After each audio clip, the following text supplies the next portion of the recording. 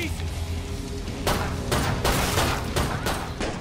Now you are starting to look like you could be good at this. Bravo. Recently, you may have noticed a game that's coming out soon, November 18th, called Killing Floor 2. And you're wondering what it's all about. So you punched Killing Floor 2 into YouTube and you saw my video and you clicked on it. So thank you. First off, thank you for clicking on my video. I really appreciate it. Please check out my channel and subscribe. Killing Floor 2 is a horde mode style game, much like Call of Duty Zombies or Left 4 Dead.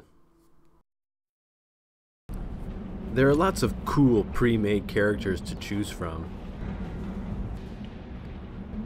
And obviously, each character can be equipped with cool accessories.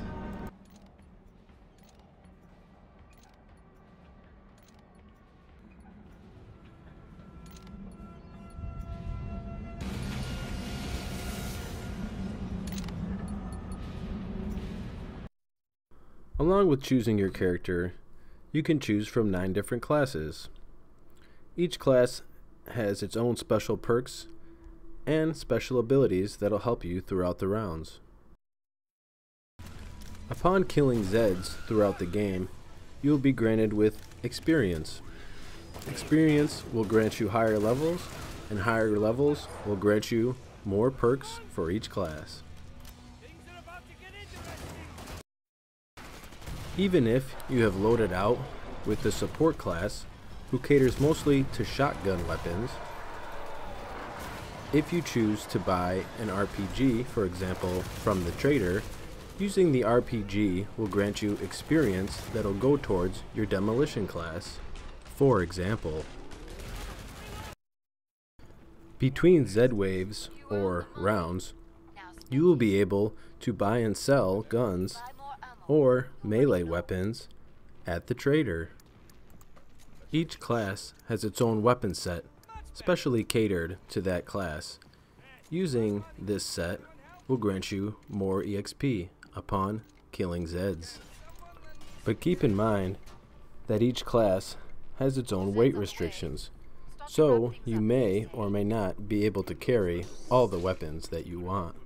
So, choose carefully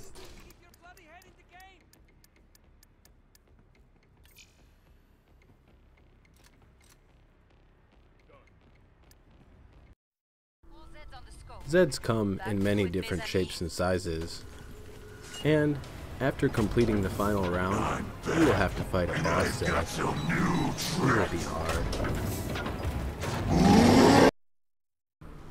Alright guys, so here's the part of the video where I'm basically going to give you my review, give you my rundown, my likes, my dislikes, do I think the game is worth it, uh, things that should change, my suggestions, da da da da.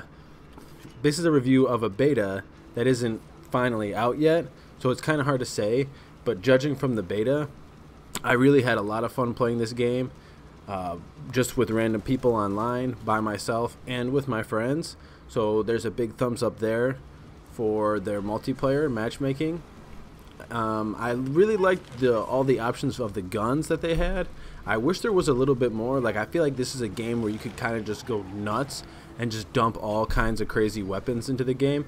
And I'm hoping that they will do that maybe not right away with the initial release, but with downloadable content.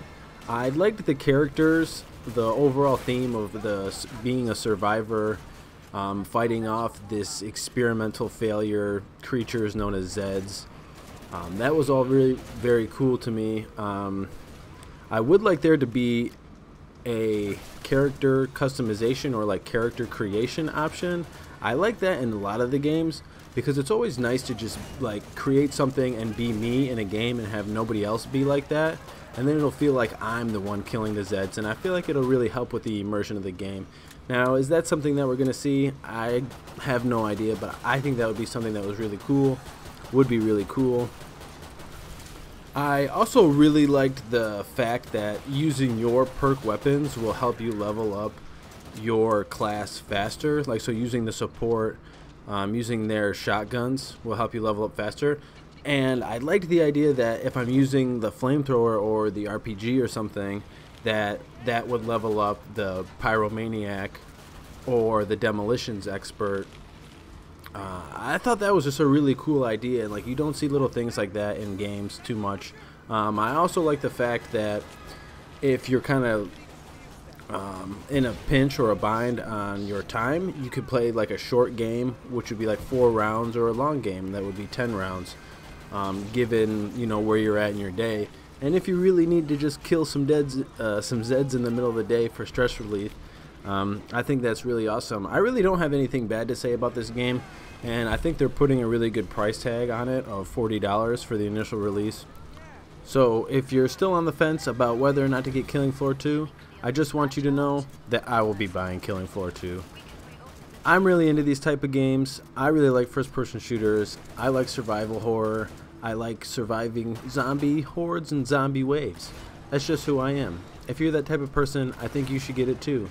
And if you need someone to play with, my PlayStation Network name is all over the screen. Go ahead, give me a shout if you'd like. I probably wouldn't mind playing with you. Unless you're super annoying and like five years old. But otherwise, give me a shout. Um, and get Killing Floor 2.